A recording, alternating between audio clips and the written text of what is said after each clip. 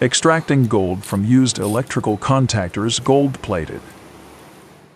I took a hammer and a lot of time to extract these gold-plated pin contactors would be great if someone could tell me. What method did you use to isolate the contactor's pin?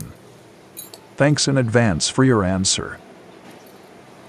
If you have a large quantity of gold-plated connectors, it is recommended that you sell them to a professional gold recovery company who can extract the gold in a safe and environmentally responsible manner.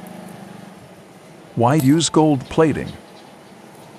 You're probably wondering why electrical contact manufacturers use gold plating. After all, the precious metal is expensive. However, gold has various physical and chemical properties that make it ideal for electronic applications. Here are some that make it a solid long-term return on investment. Most of the electronics we use in our daily lives contain at least a little bit of gold. While this precious metal is widely known for its beautiful, shiny appearance, it also has quite a few functional purposes that make it a sought-after material in a variety of industries.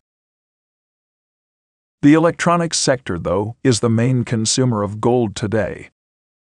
Even though that gold is rarely seen, it plays a critical role in keeping the components of your devices functioning properly over time.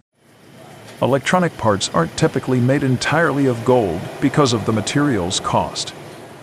More often, manufacturers use electroplating to apply a thin layer of gold over the main material that comprises the component.